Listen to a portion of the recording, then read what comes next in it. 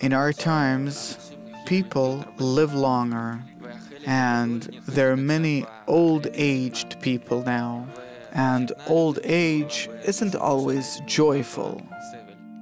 But there are many illnesses, Alzheimer, fear from death. Elder children have to take care of their elder parents. What is the essence of this, and can you be happy at old age? First of all, there is a great correction in a person growing old. There's a great correction in him feeling that he is ending with his life. These are things that aren't worthwhile giving up, really. And even in suffering and pain and illness that comes at the end of life, there is a great correction about them.